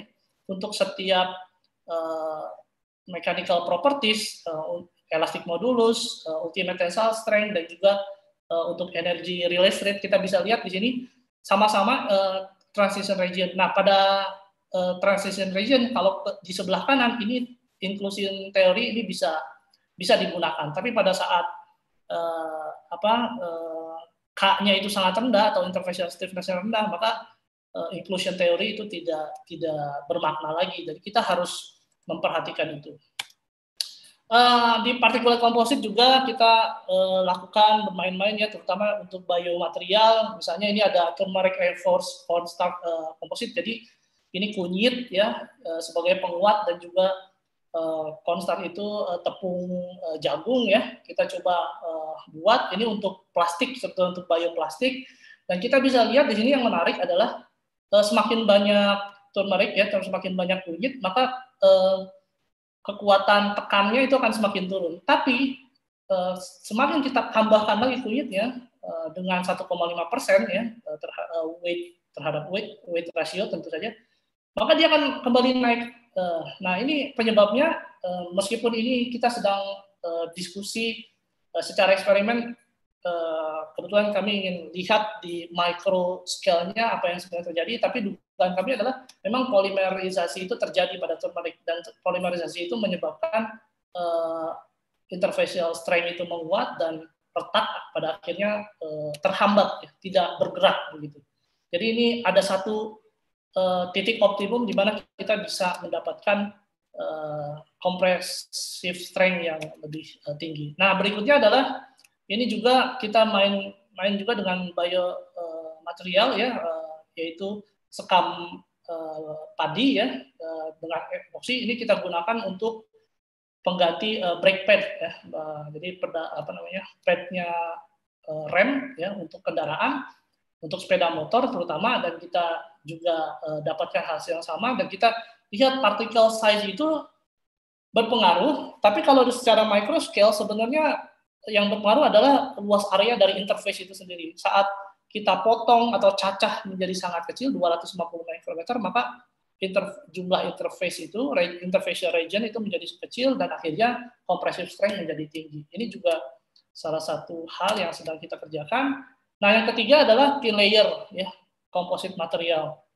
Uh, tidak harus micro scale sebetulnya kalau uh, di sisi uh, thin layer composite material. Jadi kita pernah lakukan riset tentang dua material yaitu komposit yang pertama uh, fiber material komposit yang satu lagi adalah aluminium alloy. Nah kita coba apa namanya gabungkan ya kedua material tersebut dengan adesif. Nah di sini kita uh, dekati properties atau sifat material dari adesif itu dengan menggunakan modeling tadi spring behavior tadi. Jadi kita lakukan uh, double country lever uh, beam test dan juga shear lap uh, joint test dan kita coba uh, lihat uh, apa namanya model tersebut uh, sebagai uh, sebuah spring dan pada akhirnya kita uh, dapatkan uh, seperti ini ya. Uh, lalu kita uh, propose ya uh, lokus dari fracture criterion. Jadi kalau misalnya ada dua material yang satu adalah aluminium alloy, yang satu lagi adalah komposit, maka akan berlaku kriteria kegagalan seperti ini. Uh, lokusnya akan berlaku seperti ini, di mana sumbu uh, X-nya. Bentang ini, waktunya ya? Ya, ini sebentar, setelah ini selesai, Pak. Oke. Okay. Nah, uh, dan ini sumbu uh, apa namanya X-nya adalah shear dan uh, normal dan tetanya adalah uh, sudut dari komposit. Seperti itu. Dan lagi-lagi kita ini yang ongoing riset kita uh, tentang thin layer komposit. Jadi ada dua uh, material sebenarnya yaitu pouch baterai ya. Kalau pouch baterai kita tahu ada layer-layer. Nah, eh, dengan menggunakan multi scale analysis dan homogeneity teknik kita bisa uh, lihat stres yang ada terjadi di thin layer seperti itu. Uh, kita ini juga ongoing dan yang terakhir yang juga sedang ongoing uh, mungkin nanti kita bisa uh, riset uh, bersama ya yaitu solid state battery material di mana tadi sudah disebutkan kita punya interface yang menjadi masalah dan kita juga sedang coba buat supaya uh, interface tersebut justru hilang ya dengan menggunakan functionally graded material. Ini juga uh, termasuk long kita punya data-data simulasi, tapi memang uh, eksperimennya perlu di, uh, dilakukan lebih baik ya. Dan ya ini uh, beberapa hal uh, simulasi yang kita uh, lakukan, kita bisa lihat bahwa crack di elektrolit itu bisa uh, terjadi seperti itu. Dan ya ini kesimpulannya bahwa memang untuk mengaplikasikan semua fenomena yang terjadi pada interface, kita pada akhirnya harus menciptakan uh, modeling yang sifatnya uh, spring ya dan itu sudah bisa dilakukan dan memang sudah uh, proven dan tentu saja untuk memvalidasi kita masih memerlukan uh, eksperimen uh, untuk dilakukan. Mudah-mudahan dari uh, diskusi singkat ini bisa uh, apa sama-sama uh, membangun kolaborasi di sini. Terima kasih sekali lagi untuk Pak Brian atas uh, ininya, atas kesempatannya. Eh, selamat sore semuanya, semoga bermanfaat. Terima kasih Pak Bian. Baik, terima kasih Mas Bentang. Uh, sebelum ini ketanya jawab, uh, mohon maaf saya nih agak nggak stabil. Nanti kalau ternyata diam agak lama, Mas Watwa tolong intervensi saya gantikan ya. Oke, ini ada beberapa pertanyaan. Uh, perihal material superhidropobik, meskipun katanya agak out of topic ya. Apakah bisa dikatakan bahwa ia memiliki sifat waterproof atau water repellent? Karena sebetulnya saya agak bingung membedakan dua sifat tersebut. Apakah sebetulnya sama atau berbeda? Silahkan ini mungkin siapa nih Mas Halim barangkali? Ya, um, se sebetulnya sih kalau menurut saya um, fenomena atau konsepnya itu sebenarnya hampir sama antara waterproof dan water repellent. Tapi kalau biasanya berbicara dengan orang-orang yang dari industri, mereka punya kriteria tertentu untuk uh, apa uh, kondisi seperti apa yang mereka sebut water repellent, kondisi apa yang mereka sebut uh, waterproof. Jadi sih konsep mungkin konsep sainsnya itu mirip, tapi jika kita measure propertinya semakin baik, semakin ke arah waterproof daripada water repellent. Menurut saya sih di situ. Jadi lebih kepada ke arah apa uh, definisi seberapa bagus kualitas water repellency-nya. Oke, terima kasih. Uh, berikutnya masih dari SAMS. Bagaimana agar kita tetap termotivasi untuk bisa berinovasi dalam bidang material science? Nah ini agak umum ya. Nah, tapi uh, justru uh, banyak yang ingin tahu juga nih rasanya. Karena terkadang saat kita sedang meneliti, ternyata di luar negeri, terutama yang di Indonesia nih Mas Salim ya, hmm. ternyata di luar negeri ini juga ada yang melakukan yang mungkin hampir sama, bahkan lebih cepat, hasilnya juga lebih lengkap gitu ya. Sehingga kadang-kadang kita kurang yakin dan kurang bersemangat. Nah, silakan Mas Salim bagaimana. Wah, ini ada... pertanyaan yang susah-susah gampang ini. Eh, gampang-gampang uh, susah sebenarnya. Mungkin apa apa. Kalau jadi sebenarnya mungkin menurut saya tidak ada jawaban yang betul atau salah sih untuk pertanyaan itu. Tapi mungkin opini saya lebih ke arah uh, praktikal ya. Jadi kalau sudut pandang saya sih jika itu terjadi artinya topik yang kita kerjakan itu kan menarik. Berarti ada banyak sekali orang yang tertarik di bidang itu. Jadi itu satu plus. Jadi kita ambil yang baiknya. Yang kedua di satu sisi at some point gitu kita harus mulai di mana kan we have to start somewhere jadi jika mungkin awalnya um, lebih repetitif atau lebih apa uh, menduplikasi apa yang sudah dikerjakan oleh uh, grup-grup lain ya mungkin awalnya nggak apa-apa tapi mudah-mudahan ke depannya bisa punya apa uh, view unik dan mungkin itu uh, mungkin poin ketiga saya sih tapi terkadang walaupun topiknya itu sama mungkin ada artinya apa art of asking the right question. Jadi mungkin walaupun topik risetnya itu mirip, metodenya mungkin agak-agak mirip, mungkin perlu identifikasikan apa sih um, pertanyaan unik yang kita bisa punya atau metode unik apa yang bisa kita berikan yang mungkin berbeda dengan uh, grup-grup uh, lain. Jadi mungkin itu jawaban saya sih. Jadi um, istilahnya kita ambil baiknya. Uh, kalau misalnya ada grup lain yang juga mengerjakan yang sama ya itu artinya topik yang menarik. Dan coba punya uh, apa angle yang unik. Dan jika bisa bekerja sama dengan grup lain tersebut ya why not? Mungkin uh, Mas Bentang atau Mas Fatwa Mas Bian bisa Mas Bentang kali silakan. Mas Bentang nih yang ya uh, dalam negeri. Silakan Mas Bentang. Ya memang uh, tantangan ya riset terutama kalau di Indonesia. saya saya terma, uh, kita tahulah uh, apa yang uh, bisa ini. Cuman mungkin saya melihat dari sisi uh, lain bahwa sebetulnya ada beberapa keuntungan juga bisa riset di uh, Indonesia terutama dalam hal resource ya. Uh, tadi kalau Pak Halim sendiri kan sempat uh, cerita biologi pun itu originnya dari Indonesia. Jadi itu itu itu bisa menjadi uh, kekuatan begitu. Uh, dan uh, motivasi pada akhirnya juga harus dalam diri sendiri, tidak bisa dari luar. Mungkin sekali dua kali uh, dari luar bisa bisa apa menambah motivasi, tapi pada akhirnya tergantung dari diri sendiri. Saya kira baru itu jawaban saya sih. selebihnya mungkin dari justru Pak Brian punya punya pandangan yang lebih. Itu kali dari saya Pak. Ya, terima kasih. Uh, saya Pak Fatwa bisa lanjutin ya, sorry saya putus-putusnya. Boleh, boleh, boleh. Silahkan saya, saya ambil ya take over ya. Uh, selanjutnya uh, ada pertanyaan untuk uh, Pak Halim. Uh, mungkin lebih ke minta pendapat soal engineered living materials nih, terutama hubungannya dengan smart living services. Mungkin ada pandangannya, uh, Mas Halim? Ya, ini sebenarnya pertanyaan yang uh, menarik sekali sih. Um, tapi kita mungkin sudut pandangnya dari beberapa sisi ya. Kalau dari sisi um, nature sendiri, uh, istilahnya engineered living materials atau smart living services ya memang sudah ada. Jadi itu yang dikerjakan oleh tanaman, serangga, animal semua. Jadi ini dari segi evolusi. Jadi sebenarnya sudah ada.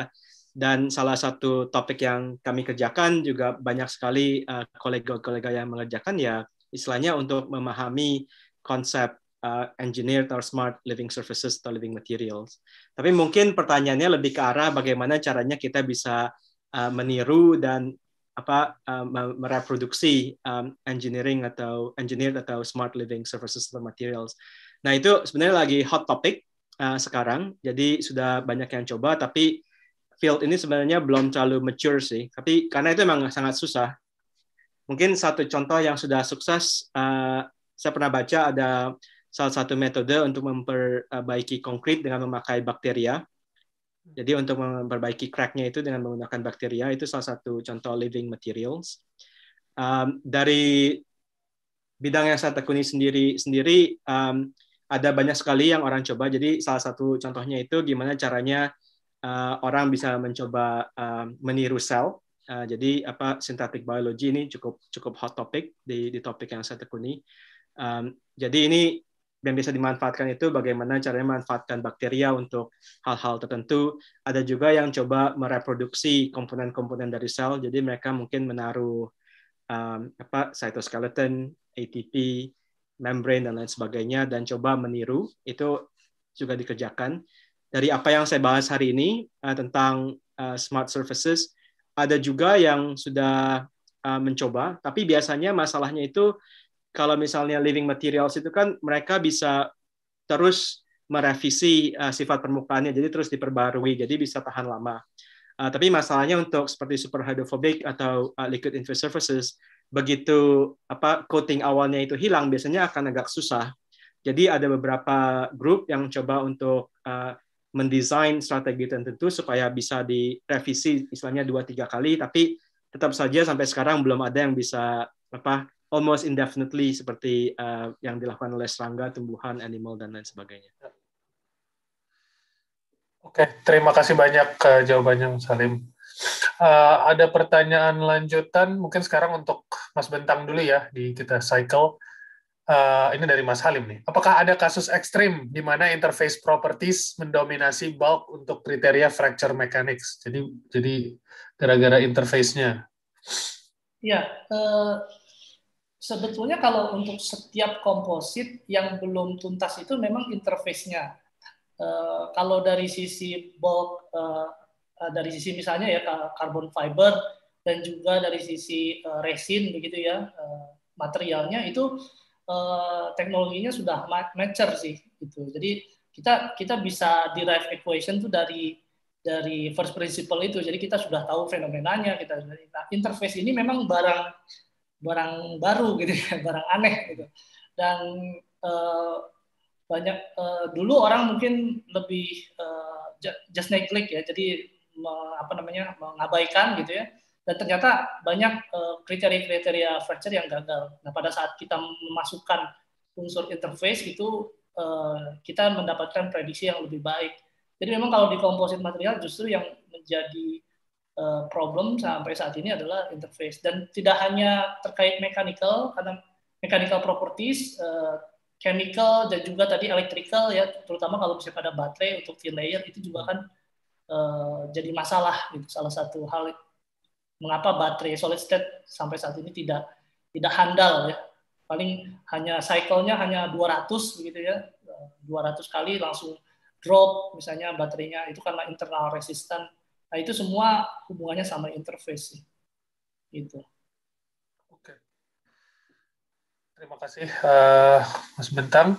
Uh, selanjutnya untuk Mas Halim, uh, saya lihat. Oh dari saya ya. Apa advantage disadvantage dalam menggunakan lattice Boltzmann method nih, uh, Mas Halim? Karena mungkin banyak dari kami yang nggak nggak main di situ ya. Mm -hmm instead of Navier-Stokes equation yang konvensional. Ya, jadi mungkin ada beberapa uh, keunggulannya. Mungkin yang paling utama uh, mungkin ada dua ya. Yang pertama adalah biasanya kalau kita mau mensimulasikan geometri yang cukup kompleks, itu cukup mudah dilakukan di lattice Boltzmann.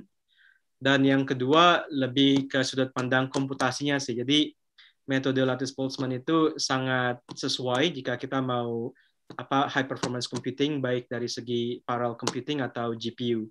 Namanya banyak sekali um, yang apa dari sudut pandang uh, mungkin computational science, mungkin computer science yang coba mendevelop uh, software yang mulai uh, menfavor lattice Boltzmann karena itu akan sangat menguntungkan. Jadi kalau misalnya kita coba lihat curve apa efisiensi berdasarkan jumlah CPU itu biasanya lattice Boltzmann cukup dekat dengan linear, jadi sangat menguntungkan.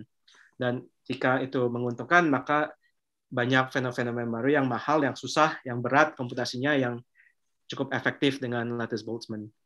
Mungkin kalau dari disadvantage juga ada lumayan beberapa. Mungkin satu yang saya eh, gambarkan di sini adalah jika dibandingkan dengan metode CFD yang konvensional, uh, lattice Boltzmann nggak semature mereka. Jadi contohnya jika kita mau uh, CFD standar, kita mau punya mesh refinement, mungkin meshnya berubah-berubah, itu cukup gampang kan uh, dengan software yang ada. Jadi hampir semua software itu sudah standar, kita tinggal klik klik klik jadi kan. Nah kalau dengan lattice Boltzmann itu masih develop, masih apa masih developing. Jadi banyak mungkin feature-feature yang standar di conventional CFD yang masih belum uh, mature di lattice Boltzmann. Tapi apakah itu akan mature atau enggak ya itu harus kita kita lihat sih. Package, package ada package uh, software yang uh, consider lattice Boltzmann method ini sekarang Mas Ali? Uh, ya ada beberapa. Jadi yang uh, open source software itu uh, setidaknya ada ada ada dua. Jadi satu contohnya OpenLB yang grup kami juga terlibat. Uh, ada juga namanya Walberla dan untuk yang apa um, untuk yang apa yang bayar juga juga ada. Jadi ada beberapa software company yang CFD developer yang sudah mulai uh, adopsi uh, lattice Boltzmann. Jadi uh, beberapa mungkin konsol, belum dirilis konsol belum ya? Konsol belum. Tapi uh, beberapa udah mulai dari dari diskusi dengan kolega-kolega yang mungkin PhD di lattice Boltzmann udah mulai banyak yang sekarang kerjanya di software company, tapi mungkin belum ah, rilis, okay. tapi it's probably coming ya. Yeah. Uh, selanjutnya uh, dari YouTube nih uh, ada ada pertanyaan dari YouTube untuk Pak Halim. Apakah sudah ada pendekatan data science untuk topik riset uh, Pak yang Pak Halim kerjakan? Ya, nah ini juga menarik. Jadi untuk um, untuk yang saya kerjakan khusus di interfacial phenomena, wetting phenomena itu belum uh, belum belum banyak. Tapi yang sudah mulai kelihatan banyak itu uh, data science untuk fluid dynamics in general. Jadi kalau menurut saya sih sebentar lagi ke multi-phase, multi-component, interfacial flow, I think it's coming. Um, jadi uh, contohnya ada banyak beberapa paper di mana mereka menggunakan data science untuk lebih ke optimisasi ya. Jadi uh, mereka itu mungkin mensimulasikan uh, beberapa kasus di mana mungkin fluidanya uh, flow-nya seperti apa dan jika kita mau optimisasi geometrinya, kita tidak perlu melakukan simulasi lagi, simulasi lagi. Mereka bisa memakai data science untuk mencoba kalau misalnya kita merubah geometrinya seperti ini, flow-nya itu akan seperti apa. Dan aplikasi kedua yang sering saya lihat itu untuk turbulence. Jadi turbulence itu kan uh, istilahnya memang susah. Jadi banyak yang sekarang memakai data science untuk apa apa model turbulence seperti apa yang lebih lebih baik. Oke, terima kasih uh, Halim. Mungkin yang uh, dan Pak Bentang ya atas jawaban-jawabannya. Uh, masih ada waktu untuk pertanyaan lagi. Mungkin kalau ada yang mau bertanya, monggo dituliskan atau juga bisa aja langsung bicara ya. Boleh saya, Pak Fatwa? Ya, ya silakan. Ya, terima kasih banyak Pak Fatwa. Uh, menarik tadi yang disampaikan oleh Pak Mas Halim dan Mas Bentang ya mengenai uh, surface dan interfacial fenomena. Uh, mungkin saya uh, silakan direspon oleh keduanya uh, bila berhubungan.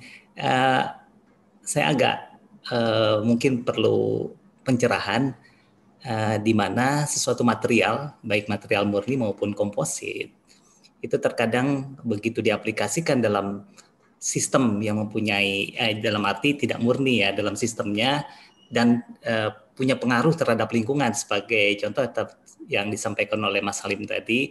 Misalnya dalam coating dalam eh, satu material misalnya diaplikasikan kepada eh, kapal gitu ya di mana dalam modeling tentunya kan eh, keterbatasan eh, eh lingkungan ya yang mungkin harus dalam keadaan yang uh, tidak banyak parameternya. Uh, sementara begitu diaplikasikan di lingkungan misalnya di perairan di mana uh, lingkungan tersebut begitu banyak komponennya misalnya dalam salinitasnya, banyak ion metalsnya, kemudian banyaklah pengaruh tekanan, pressure yang ada di lingkungan tersebut. Nah, ini bagaimana model praktisnya sehingga material-material dalam aplikasinya itu tidak mudah korosif atau tidak mudah uh, uh, patah atau terjadi regangan atau uh, kerusakan uh, di permukaan material tersebut. Demikian. Uh, terima kasih Pak Fatwa. Terima kasih Pak uh, Yoki ya, Yoki ya. Ulizar. Silakan uh, langsung dijawab mungkin. Uh, saya? Ya, silakan. Ya, uh, ya itu sebenarnya pertanyaan yang menarik sih. Jadi um, ini mungkin salah satu alasan juga kenapa banyak sekali uh, perusahaan-perusahaan mungkin di Indonesia juga di luar negeri juga di mana mereka itu uh, bekerja sama dengan um, tim riset dari universitas. Jadi biasanya itu mereka um, tipe risetnya itu biasa ada dua atau tiga. Mungkin yang pertama itu seperti yang saya ceritakan di cerita pertama itu mereka juga pengen tahu gitu jika memang kita bisa mendesain yang sebaik mungkin itu seperti apa sih, seperti efektif apa sih. Dan mereka sadar gitu jika memang untuk aplikasi pasti tidak akan uh, sebagus itu, tapi setidaknya mereka mau tahu kalau misalnya itu apa working perfectly itu seperti apa. Dan mereka bisa lakukan apa istilahnya business case. Apakah itu worth it atau kagak untuk maju terus ke ke ke apa teknologi seperti ini. Jika mereka lihat ini yang terbaik yang bisa didapatkan dan itu enggak worth it dan mereka akan mundur Nah, tipe riset kedua ya mereka lebih uh, spesifik. Jadi ini material yang mungkin bekerja untuk mereka, uh, komposisinya seperti apa, dan mereka minta um, tim riset untuk apa karakterisasi dan dan sebagainya. Dan um, mungkin itu satu tipe jawaban. Mungkin tipe jawaban kedua untuk pertanyaan Mas Yoki. Kadang-kadang uh, kita memang tidak tahu uh, apa parameter-parameter uh, apa yang akan menyebabkan kegagalan. Jadi contohnya untuk uh, super hydrophobic surface itu um, sekarang biasanya itu uh, aplikasi yang bekerja dengan super hydrophobic surface itu yang istilahnya high tech. Jadi di mana um, materialnya itu terkontrol dengan baik. Contohnya di elektronik di mana kita tahu jelas apa aja yang yang ada di situ yang bisa dikontrol keluar masuknya ion dan sebagainya. Tapi kalau misalnya untuk aplikasi seperti di kapal layar itu susah. Jadi salah satu uh, yang sekarang orang mulai sadar adalah uh, pentingnya surfactant. Jadi um. Biasanya kalau kita model itu kan kita nggak berpikir uh, surfactant. Jadi surfactant itu biasa molekul yang akan masuk ke interface, ke fluid interface, dan itu bisa menurunkan uh, tegangan permukaan, jadi surface tension. Dan yang baru-baru ini orang sadar sekitar 2-3 tahun yang lalu adalah sedikit surfaktan saja sudah bisa merubah um, apa efektivitas uh, super hydrophobic surface. Nah, jadi ya itu salah satu misalnya kita terus uh, apa istilahnya terus riset terus um, uh, merevisi apa uh, pengetahuan kita sih. Jadi biasanya itu mungkin sekitar lima tahun yang lalu, enam tujuh tahun yang lalu orang sudah pikir fundamental science dari uh, hydrophobic surface sudah selesai. Tapi sekarang setelah masuk ke aplikasi orang sadar oh surface surfaktan itu penting. Nah, jadi untuk mengerti efek surfaktan itu sekarang banyak sekali orang dari fisika, matematika yang masuk lagi ke super hydrophobic surface karena ternyata ada fenomena baru yang perlu dipahami. Mungkin itu dua dua jawaban saya dari uh, pertanyaan Pak Pak Yoki. Terima kasih Pak Salim. Mungkin Pak Sebentang ada ditambahkan? Ya, uh, mungkin tambahan sedikit terkait dengan uh, bagaimana mengaplikasikan uh, penemuan atau fenomena ya fenomena yang terjadi ya khususnya pada komposit misalnya uh, untuk uh, aplikasi struktur-struktur yang besar. Memang di dunia komputasi sekarang ini uh, kita sudah lebih banyak bermain multi scale modeling uh, seperti yang sekarang kita sedang coba susun juga uh, kita bermain dari level mikro lalu nanti mesoscale sampai nanti makro scale seperti itu dan modelingnya tidak terbatas uh, di makro skala aja. Jadi kalau misalnya uh, dulu kita melihat komposit itu sebagai satu material, tapi kalau sekarang di model kita melihat komposit itu sebagai struktur yang terdiri dari fiber, uh, matrix dan uh, interface gitu. Atau kalau misalnya partikel, partikel. Uh, di computational ini memang apa ada link ya antara retak atau failure di mikro dan apa yang terjadi pada mikro dan hubungannya terhadap makro itu kita kita run sih gitu. Jadi uh, terutama untuk aplikasi-aplikasi uh, ya. Misalnya kita tahu sekarang kalau next generation yang last generation dari pesawat terbang uh, Airbus 380 misalnya atau 350 sama uh, Boeing 787 udah mulai pakai komposit. Uh, even di daerah-daerah kritis di survei uh, struktur-struktur kritis. Nah itu memang uh, diskusi fracture criterion itu uh, menjadi penting dan harus main dari mulai microstructure. Dan satu lagi mungkin yang bisa ditambahkan bahwa setiap kriteria itu tidak bisa uh, teraplikasikan untuk semua material. Pasti ada uh, benchmarknya. Oleh sebab itu kita juga perlu uh, cek ini uh, kriteria ini apakah cocok atau tidak. Uh, kriteria kegagalan ini cocok atau tidak untuk uh, aplikasi kita. Uh, itu paling yang bisa saya tambahkan. Ya, terima kasih Mas Bentang, Mas Salim, dan Mas Fatwa. Terima kasih, terima kasih banyak uh, Mas pertanyaannya. Oke, uh, kita buka untuk penanya terakhir ya. Kalau ada yang mau memberikan pertanyaannya, silahkan.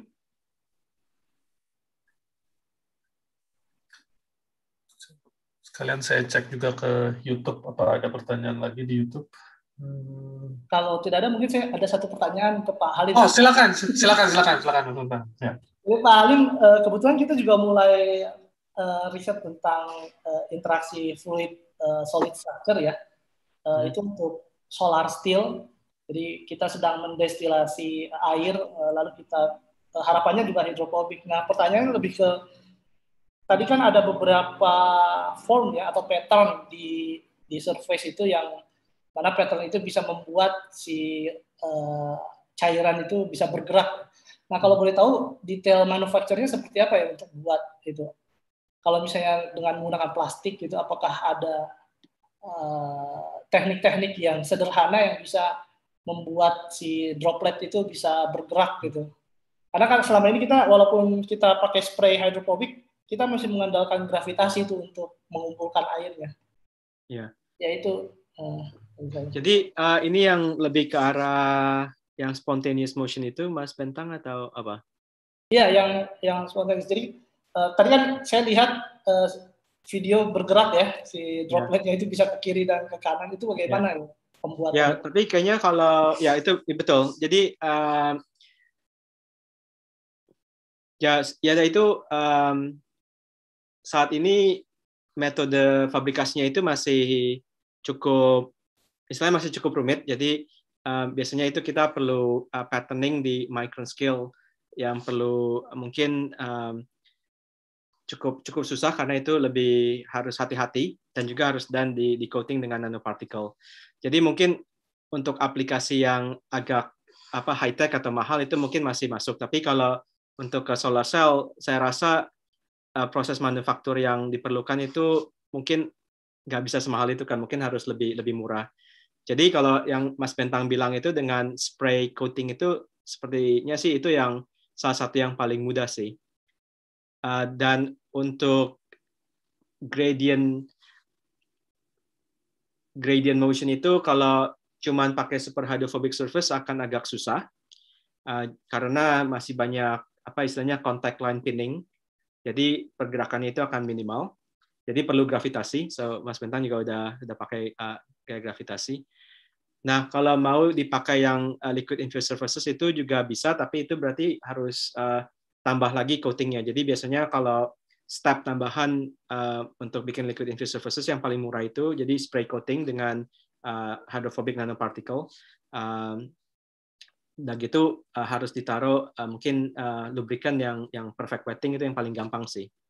Uh, contohnya silicon oil. Nah, tapi kalau misalnya itu yang dikerjakan, challenge-nya sekarang itu untuk liquid infused surfaces adalah jika kita sudah pakai lama, biasanya lubrikannya itu akan hilang karena biasa terbawa dari dirt particle atau dari flow dan sebagainya. Itu yang sekarang dipikirkan itu gimana caranya supaya bisa ditambahkan lubrikannya.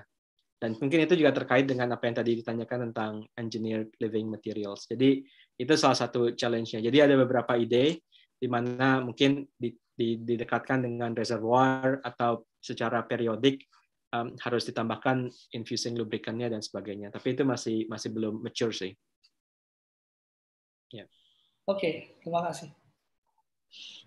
Oke, ada pertanyaan terakhir nih ya. Habis itu kita tutup, sudah mau dua jam.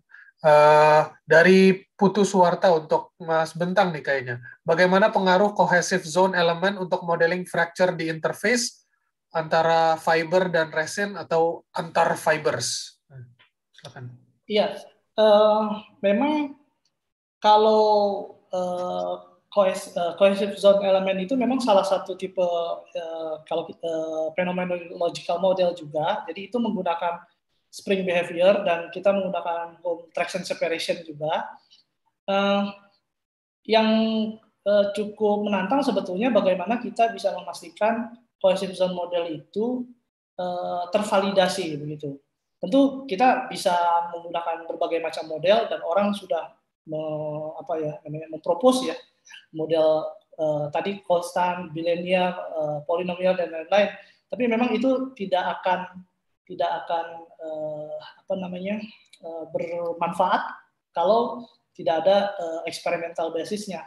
Nah, uh, salah satu yang agak challenging adalah kalau kita menggunakan phenomenological model, kita tidak hanya uh, diskusi tentang dua material yang terikat, tapi kita juga mendiskusikan bagaimana proses manufaktur dari uh, kedua material tersebut. Gitu. Karena proses manufaktur dari komposit itu uh, sangat sangat mempengaruhi uh, nanti uh, properties dari interface seperti itu. Jadi sebenarnya bagaimanapun zone model itu hanya model, yang kita harus uh, lakukan eksperimen untuk uh, validasi. Seperti itu. Uh, uh, bukan sesuatu uh, yang yang memang harus uh, jadi pakem uh, itu uh, apa ya. Terima kasih.